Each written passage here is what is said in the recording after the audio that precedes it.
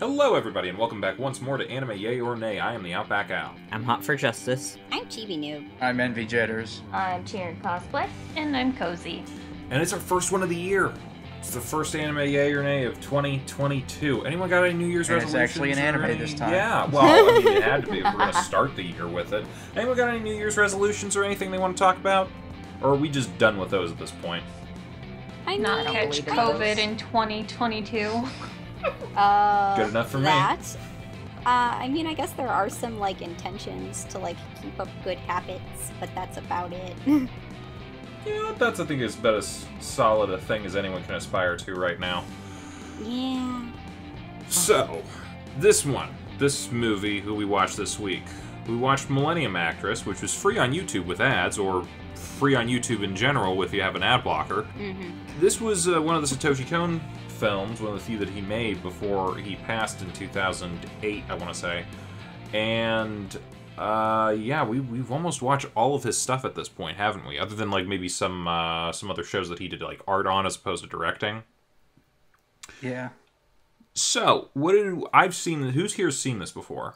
I think you might be the only one. Okay, cool. Yeah. Um, Yeah. what did what did you guys end up thinking about it? I called that shit from the beginning. Called what shit from the beginning? Oh, that, like, she was actually cursed and living out all those lives. Huh? Wait, Those what? were all the movie roles that she did, weren't they? Yeah. I Yeah. thought she was just like remembering her life through the roles that she did. Yeah, that's a Little what bit I of that, thought a little bit of too. Yeah. She's actually cursed. That's why she kept seeing the old woman.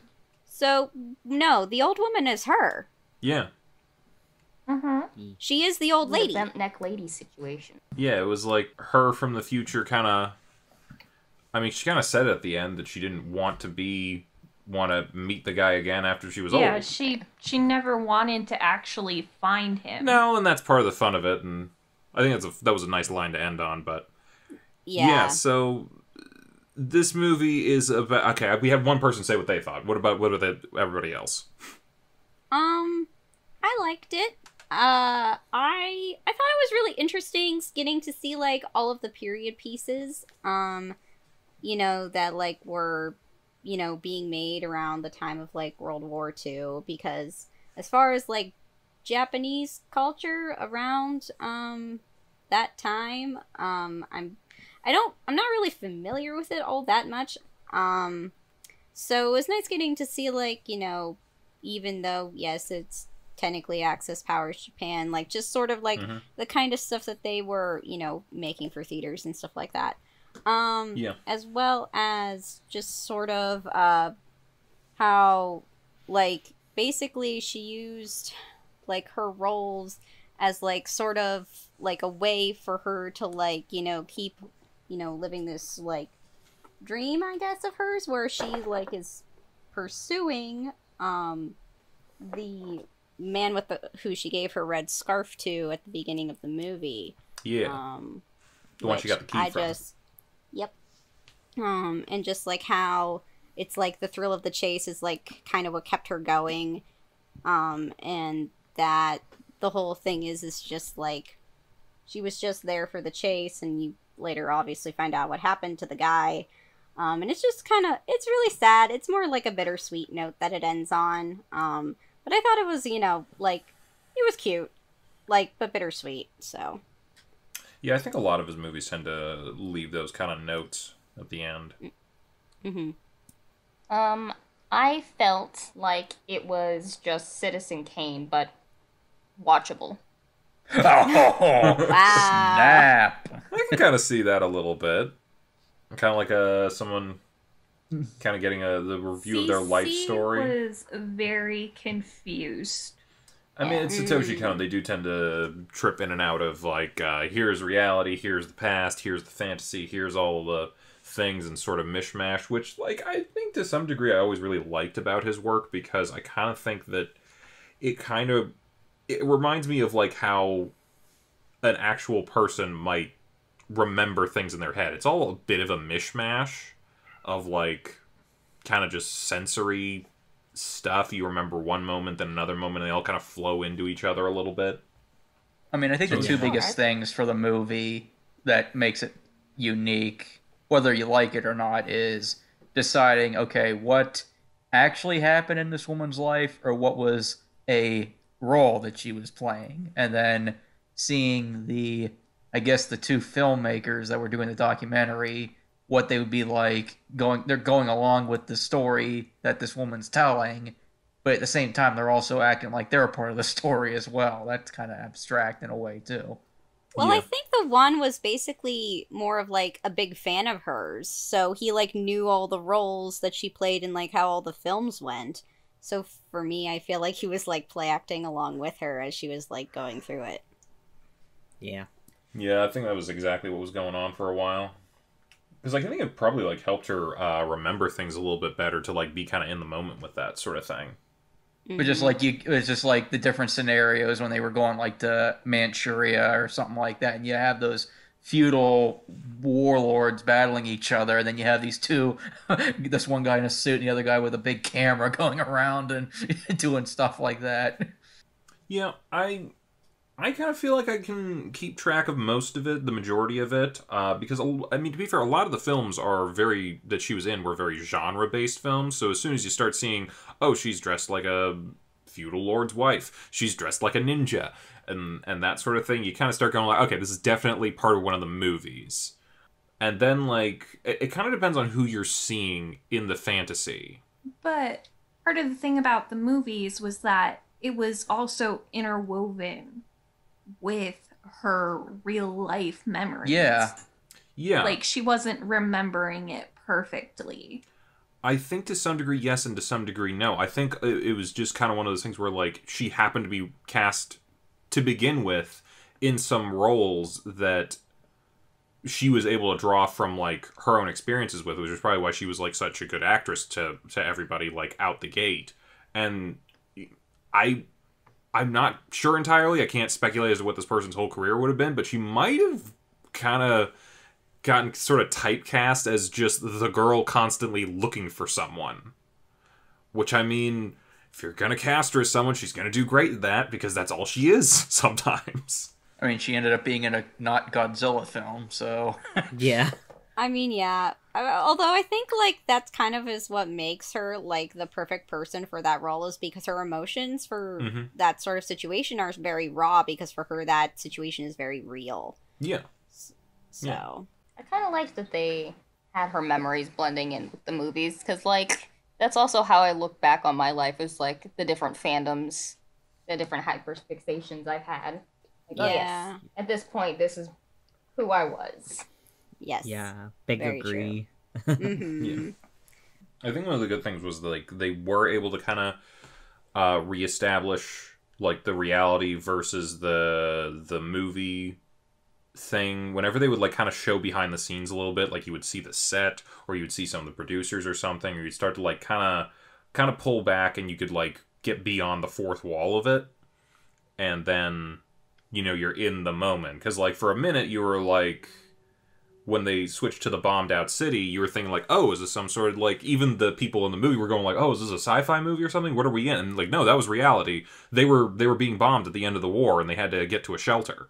So it's yeah, it's it's I don't know. It's it's just hard to describe. It's like it's there's almost no transition to certain things, but that almost makes it just a more, much more interesting experience a little bit. Yeah. I thought it was interesting, like I definitely liked um also how Genya Tachibana, I think is his name, Yeah. was Mhm. like his like inserting himself into like different roles and then you find out that he was like actually like there as you know in like the studio as like I guess a newbie. Um Yeah, he was like a production assistant or something. yeah. And I was like, "Oh, that's cool." Like I wasn't expecting that. Um and I don't know. I, I thought his like I I liked seeing I guess um you know when you find out what happens to the painter and you find out that like that I guess officer like Yeah. ended up torturing him to death or whatever.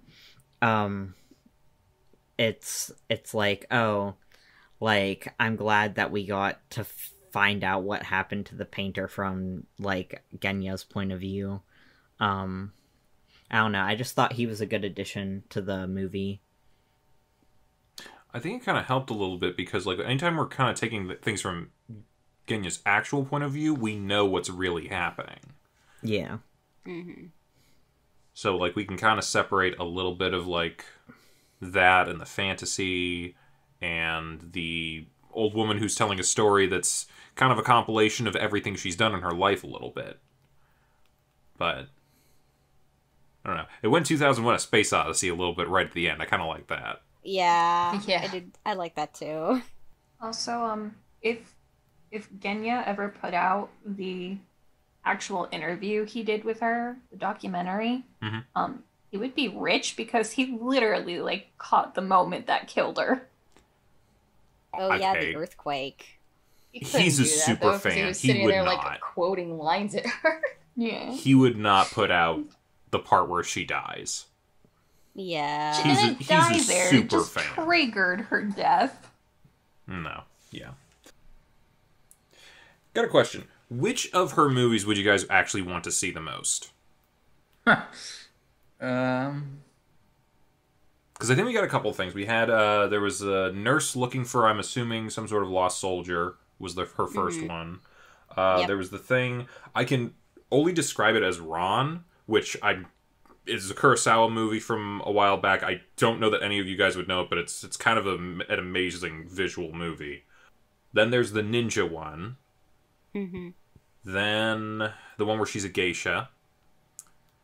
And there's the rogue samurai. What was after that? I'm a little torn because there's a bit of a transition there where I'm kind of like, okay, was this reality? Was this you're, you're? It looks like you're doing a period piece thing, but you didn't really get a whole lot of information about it.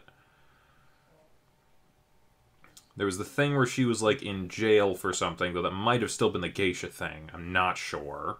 I think that was that was like Okay. during the aftermath part of that. Um, and then there was the one where she was like, "Oh yeah, so geisha, but also like political activist kind of thing." Right. Um, because I think those two were the same thing. Because that Right. officer appears, um, at that point Oh. as well. Plus the guy pulling the uh the thing.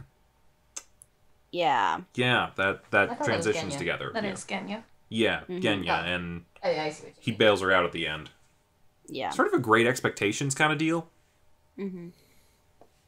Okay, so and what's then after that? Like then I think we get closer into like the fifties, like post-war kind of era where they're kind of like trying to get back on their feet, and she's sort of like doing that one movie that's also kind of like um basically she's still searching for the guy, and that's when that one um, Yeah, it's like when modern she loses times her key for that. the first time. Yeah. So Then I'm having to assume that next is Godzilla because we really don't see any of Yeah. that, and then it goes to the space Mhm. movie, and she quits after that. yes, So, of those seven, what are you guys feeling the most? The ninja one. Ninja one? Yeah, I'm kind of in was that ballpark too. Part of me was I thinking liked the Kurosawa one. Same. the Kurosawa one I am interested in, but at the same time I have seen Ran, which is the same reason I'm giving that I'm not going to go with Godzilla because I have seen that movie. But I don't think I've seen the Ninja one. So that's kind of what gets me interested. Plus they were doing like a lot of uh I honestly would be really impressed with it because it looks very cool because it's anime, but I'm also thinking this is a movie from the 50s. How are they doing this like uh, Crouching Tiger, Hidden Dragon shit? I want to see what that would have looked Yeah. like on screen from a movie from the 50s. You're also like a very big kung fu martial arts. I wouldn't like, say huge, buff, but yeah, no, I, I enjoy a, a well choreographed fight scene. So And V, what one would you want to see? Uh, I don't know. They, I, I was trying more paying attention to just decide what was real life and what was fantasy. So I wasn't really paying attention to the actual movie. I guess maybe the, Hmm. the, the, the, the Kurosawa one. I guess. if you want to see that, it's a long movie, but uh, there's a movie called Ran, which stars Toshiro Mifune, because of course it does. It's he's he's one of his regulars. Um, who actually I'm gonna say like had a career. I don't want to say similar, but like there was a number of other like actors and directors, like even Kurosawa himself. He he did films for the Japanese army during World War II. I Not necessarily in agreement with the war, um, but you know, it was one of those things that you had to do sometimes. I feel like Kon. I think it was noted that he really looked up to him. Kurosawa? Yeah. I don't know how you could be a filmmaker in Japan and not. Dude, like, So like, was it doesn't surprise me that he would put like shout outs in Oh, yeah. there. I actually, and I can't confirm this, but I was thinking that there was one guy in the in one of the shots that looked like Toshiro Mifune, but I can't be absolutely certain. It could have just been a guy with a mustache, but I don't know. Um, but I know he's a big film fan because, like, you look at even like uh, we were going to do Papri- Paprika next week. That one is head to toe with film references to a whole bunch of different things. So I liked that the art style changed with each movie subtly. And I didn't realize it was happening until that sequence when she was running and it was like going through all of her characters. oh, I like that. Yeah. That was really cool. Did the the I was kind of like trying to think like the chase, well not really a chase, but the running climax felt like it went on for a while. Not like too long, but like it felt longer than I feel like I remember it going for. Like the running chase scene at the end. Yeah. They could have cut that together better than They- they, I did. don't know. I like the way they cut it together. I just was not expecting it to be as long as it was and to like So- keep Well, the pace just- with it. they doubled up everything where they could have just cut back and forth. They could have. Yeah. I think, though, the purpose of that choice is to make it clear just how long she's been chasing this man down for. Like, it's been a long time, so that I think they were trying to stretch that scene out as much as they could to, like, give that impression. But that's just me.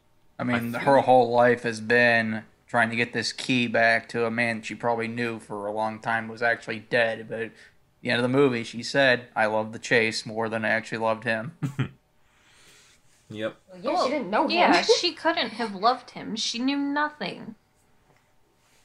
I think and she was in Disney love with the movies idea. have taught us that love can happen so quickly. I think she was in love with the idea of him, Yeah. Yeah. without a doubt. When do you guys think he died? Like, I know he left her that note, Oh, he was tortured to but death. it would be hel- Yeah. yeah. Like when though? Like Um, probably a few weeks happened at any after point. she met him. Probably. Yeah, like that note was probably you're allowed to write down like your last will.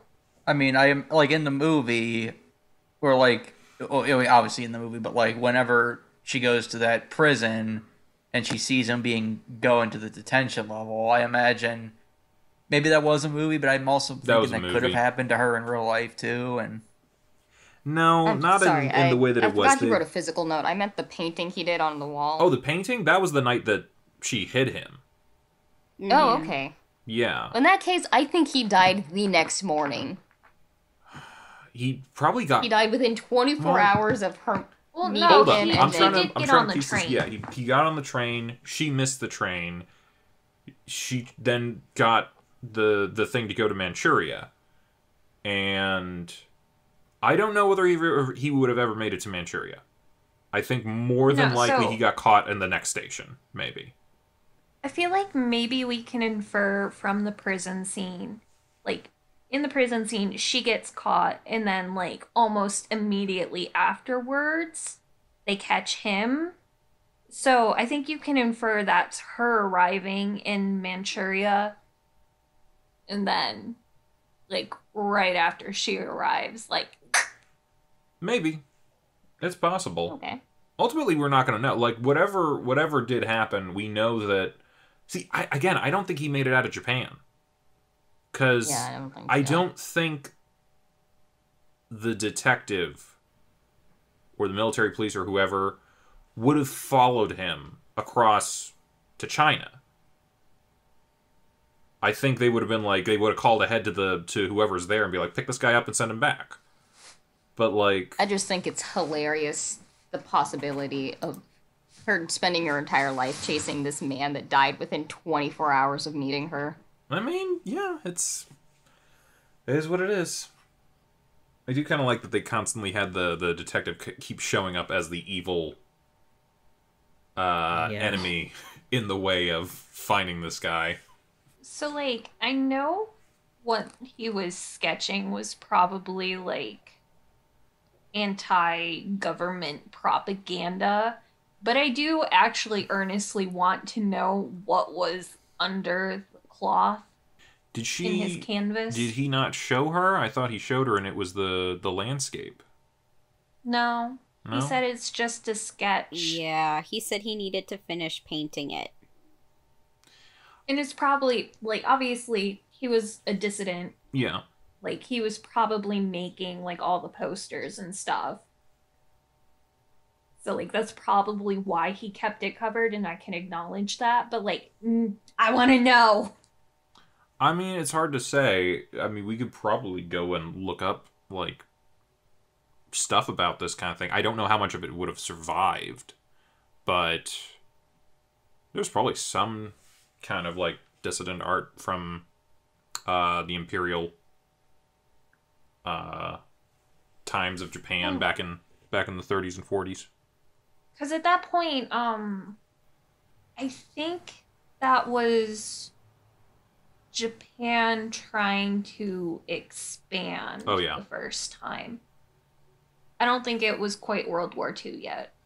Well, it was definitely in like it was right before uh what we would know more broadly as World War II, but like I think they had like started out in like 1937 kind of like trying to I looked it up. China They and were they were. I, I looked it up. The, the beginning of the conflict was the Sino-Japanese War. That's what they were showing. That Okay. was that was that was concurrent with World War II. Yeah. And like we yeah, only so they were fighting China then Yeah. Yeah, they were invading China. And to try to um, take more land. Yeah, well, China and a bunch of other uh, islands and other nations in their general area. Korea was also involved. A whole bunch of other places. I think they even tried to like attack Australia and some other places like that. And then you know, Hitler did his thing. They teamed up, and at that point, then everyone's calling it a world war, and then U.S. gets involved, and you know everything else goes from there. This is kind of weird to think about it. But like me and Yin were talking a little bit about Demon Slayer, which we gotta uh, watch the new season of that at some point. But uh, Like this is taking place in that time frame. a little after, I think, I think she might have been born like right at the end of the era that Demon Slayer set in. Yeah, Demon Slayer takes like the era it's set in is like early like It's like beginning of like 1912 the to 1926 or something. yeah there was a very short time span in which whatever emperor that was was ruling and that's when it takes place Yeah, so she might be like right there at the tail end of whatever Tanjiro and Nezuko and everybody else's stories are. So who knows? Maybe they live in the same universe. oh that'd be funny I mean, who knows? Maybe at the end of Demon Slayer, they killed the Michael Jackson. It, all the demons mm-hmm. go away as a result, and and it's suddenly the normal Man. world again. And then we have Satoshi him, Kon movies. all she needed to do was breathe funny. Yeah, maybe. But no one's gonna teach you how to breathe funny if there's no more demons. She missed her chance to be a demon slayer. Andro's gonna that's come I- and slay the old ghost lady. But then he's killing her because she is the old ghost lady. she is I feel like this is a this is one of those movies we're kind of just like hitting like a lot of surface stuff for the most part, but I feel like this is one of those movies that you could rewatch and kind of like try to analyze a couple different things, like with the characters or whoever else. Like, Oh yeah, especially like I think they say it takes like four watches to like really understand a movie. If it's a good movie, I think you can understand a bad movie pretty easily.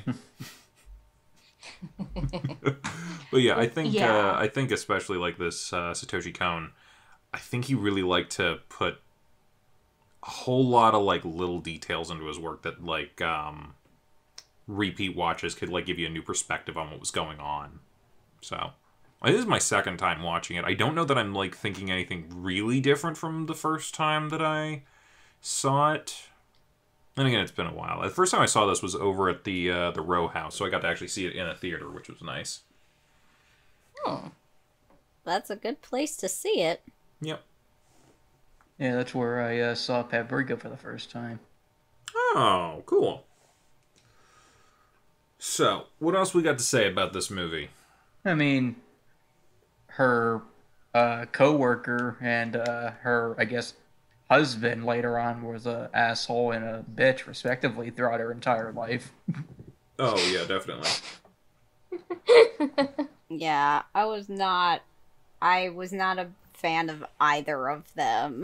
Well, some people are just shitty people.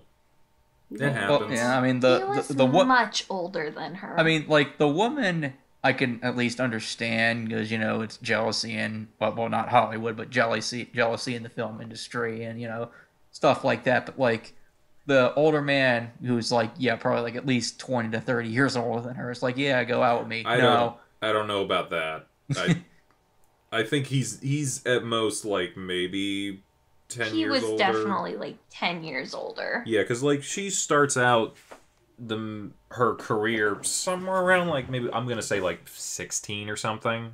I think they he's said probably in his mid twenties.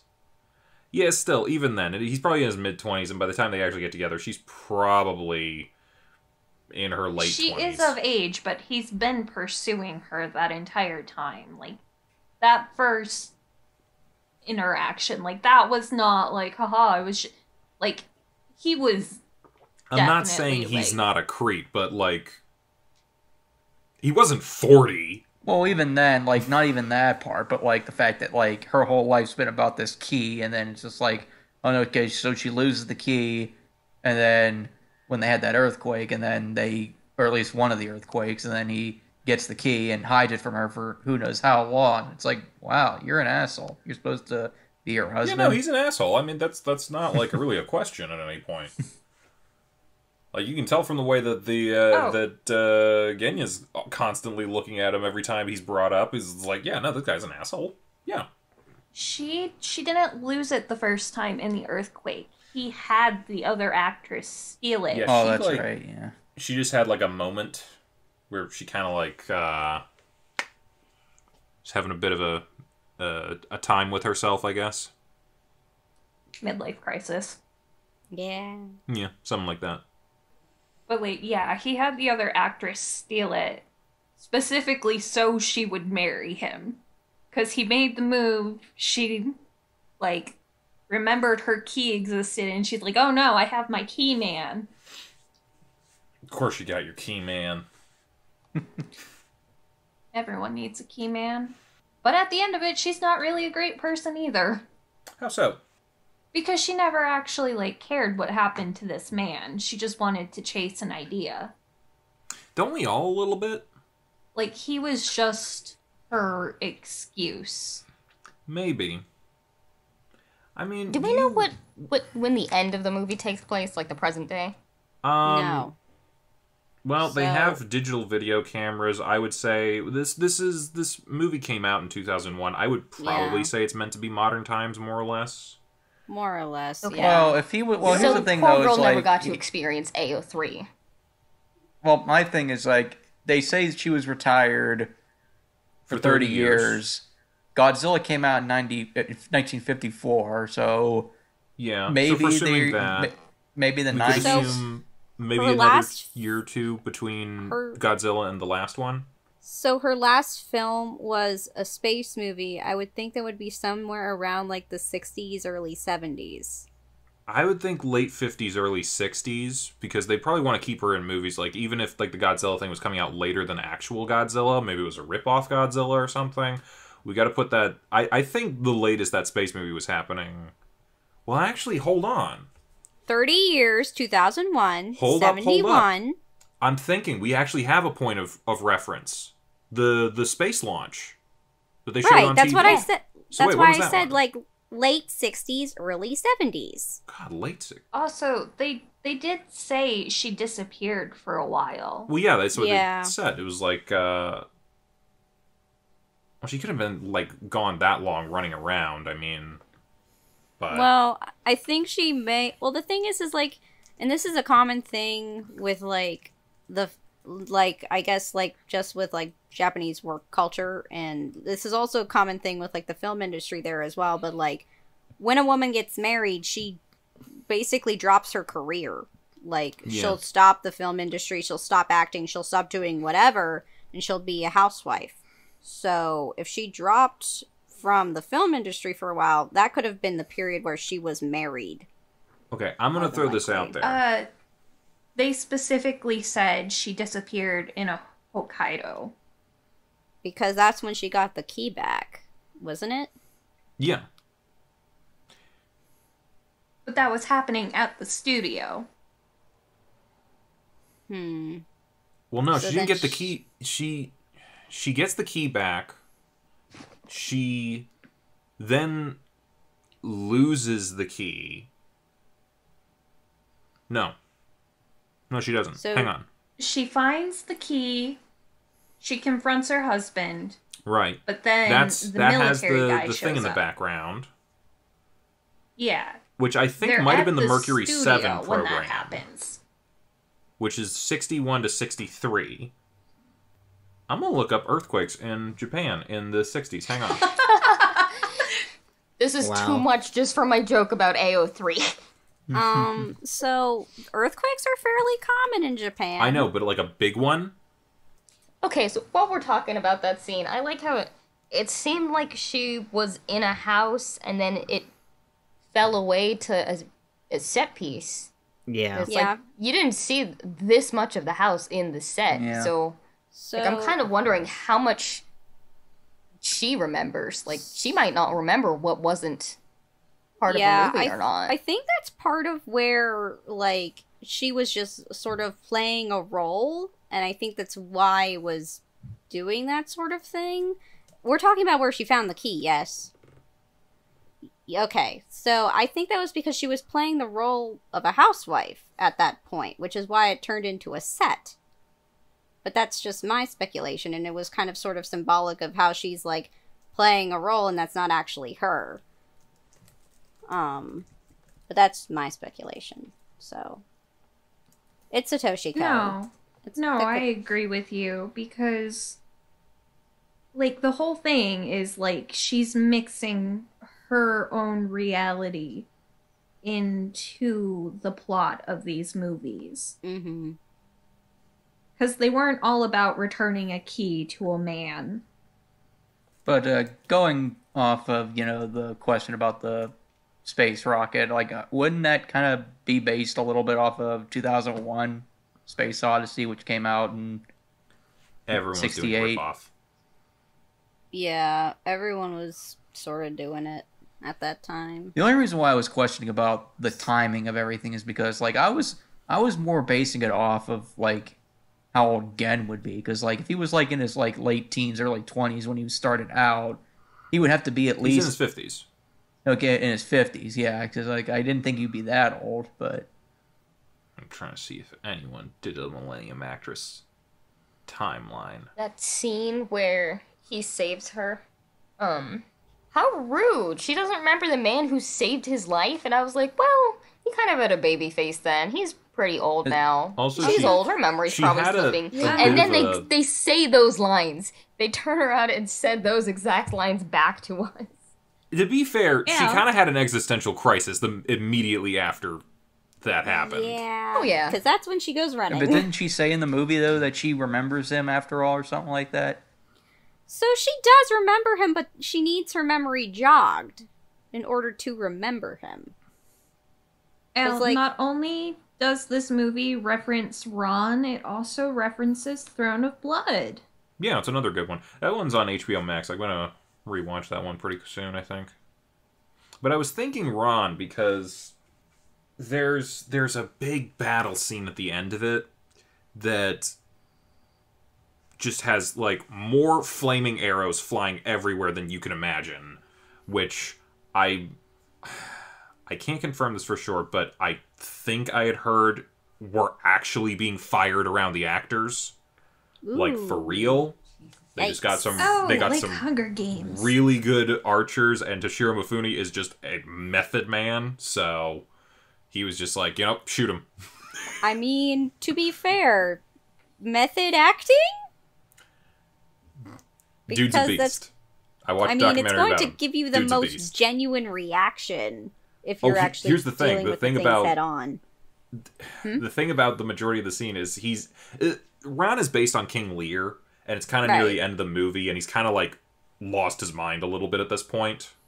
Uh-huh. Um, he's not reacting to the arrows at all. ah, Like that's kind of the thing. well, They're I mean, he flying goes around blind by that point, doesn't he? I don't know that he was blind at that point in the movie, but he is No, I definitely mean- like lost everything. I no, I thought King Lear went blind at that point, like towards the end of the play. I forget. So I have to reread it. Hmm. I could be wrong. I don't remember him go- going blind. Actually, I don't. I'm not sure. Well, I know he goes. He definitely goes insane Yeah. for sure, and like pretty much everyone dies. Yeah. So Spoiler, but well, it's one of Shakespeare's been out. tragedies. it's been out for a, A lot of people die. How dare you spoil a 500 year plus old story? I mean, if you haven't read it by now, or at least looked up a summary on the internet, I I can't help you. I'm sorry. You're not joking. I know. Are you still looking up earthquakes? No, I'm looking up Ran Okay. because I kind of want to rewatch it, but I, like I'm trying to remember how long is this movie? So it's long. this doesn't that. help us with like what her age was uh relatively but she would have been born in 1923 Well, they said that they said that when like at the beginning of the movie when she first earthquake became an actress and went to Manchuria, she was Right. 14. So Mm, I feel like she's probably like late 70s, early 80s by the end of like the end of her life. More or Let's less. just call it that. because it's like end of the movie. It's like she's been ages throughout this entire thing and she's multiple ages by the time the movie gets to the end. Oh, I got it wrong. Mifune was not in Ran. Was uh, Tatsuya Naka, Nakade, Nakade. I'm probably pronouncing that terribly, but yeah, no.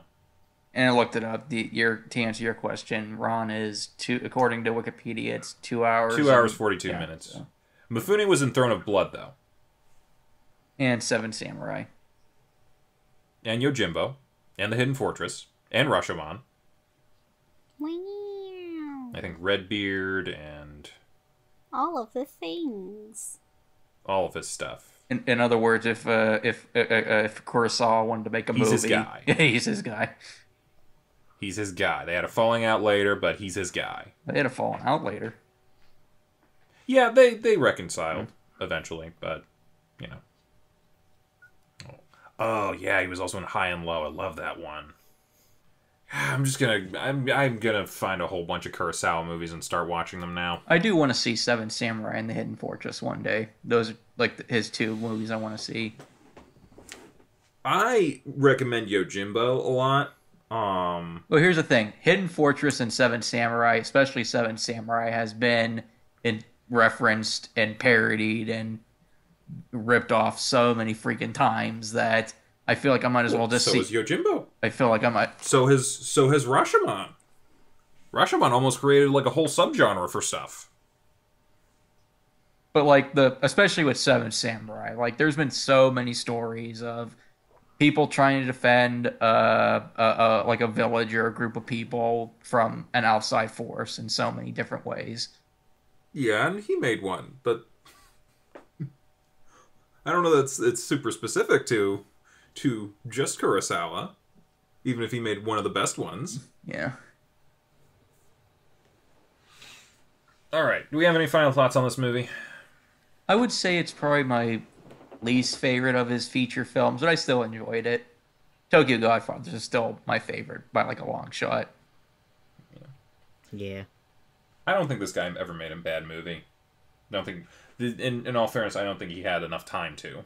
Well, he made. Perfect Blue, Millennium Actress, Tokyo Godfathers, and Paprika, right? Those are his four films. Yeah, there. There's also the uh, Paranoia Agent in there. Well, uh, I, did. I didn't count that because that It's was a a, TV series. series. Honestly, it's a pretty good series, though. I can't. I, I for if for someone with such a limited uh, filmography, yeah, I think you got to count everything that you can. Well, then Paranoia Agent would be my least favorite then. Yeah. Oh, okay. All right. Well, I'm a yay here, and uh, so next week we've covered pretty much everything else from Satoshi Kon. So we might as well, so we figure we might as well uh, hit the last one that we haven't yet, Paprika, which I'm not entirely sure. This might be his most famous one, at the very least, with like uh, the Inception comparison. I think. I mean- I never heard mean- of it? Um. Oh, this might have been before your time in Anime Club. Potentially. Uh, But did we wa- Did we watch this freshman or sophomore year? No, this is our junior Wait. year. Oh, you would have been in club by then. I know, but I didn't see it. That might have been when cheer practice switched to Hero Space. Oh, Oh, okay. that would suck. Well, I had to stop going. Okay. I have a solid answer for when the space movie was. It What do you was mid 60s. That's what I was kind of thinking, because I looked up the the launch that she was looking at while she was being a housewife, and I think that was the Mercury Seven project, which was sixty one to sixty three, where they had a couple things like that. It was before the lunar landing, Mhm. so somewhere in the mid '60s, probably. I think you're right. Yeah, which then sets this somewhere in the mid to late '90s, our our modern times, which Yep. makes sense. This came out in get it. 2001. They would have been working on it in the late '90s. He's chasing this fictional man because the poor girl never got to see AO3. I think you're a little stuck on AO3 here. Paprika next week if you want to talk AO3. Paprika's a really good movie. I'm excited. Yeah. Come join us for that, and we'll let you know what else we're going to be uh, taking a look at this month and for the rest of the year. We, we might be planning some things, we might not. Who knows? You're going to find out then. Bye bye, everybody. Bye. Bye. Bye! Hey, thanks for watching, and if you haven't already, be sure to subscribe and ring the bell icon for notifications. If you enjoy this video, give us a like, and if you haven't already, check out some of our previous episodes, our daily gaming videos, or our parody series Madoka Magically Abridged. See you next time!